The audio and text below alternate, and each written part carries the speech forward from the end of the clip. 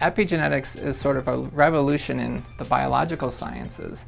And what epigenetics refers to is sort of a layer over your conventional genetics. So it's sort of this um, almost like a circuit board that's able to turn on and off genes.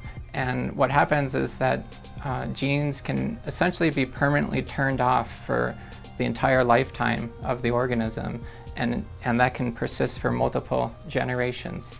Uh, so in our case, we're looking at plants, and in the case of plants, it's not really understood why plants flower in the springtime or how they know when to flower.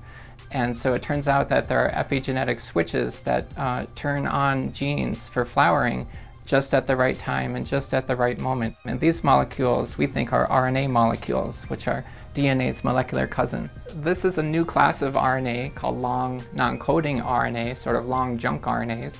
And these are uh, 100 to 1,000 times longer than most of the RNAs uh, that are normally studied. And in our case, we can show that they actually have quite detailed structure.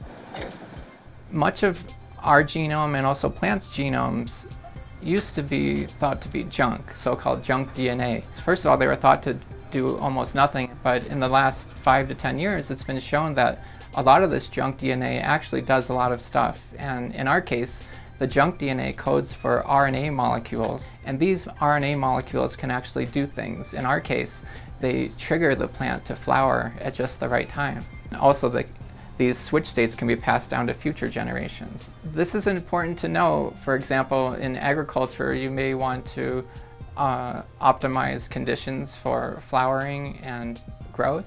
In addition, uh, plants serve as an excellent model system for epigenetics. Epigenetics uh, is really critical for the development of the embryo, uh, many human diseases such as uh, cancer, different brain um, disorders. And so it's really important to understand epigenetics and plants allow you to observe epigenetic switching sort of in slow motion. We're really thrilled. Uh, the, the plant project is a great collaboration with Caroline Dean in England and she discovered the RNA and we're trying to figure out how it works and she also showed that the structure we got is actually really important in living plants. Um, so it's a breakthrough in the sense that it's one of the first structures of these big RNAs in addition, for one of the first times, we're showing that it's evolutionarily conserved.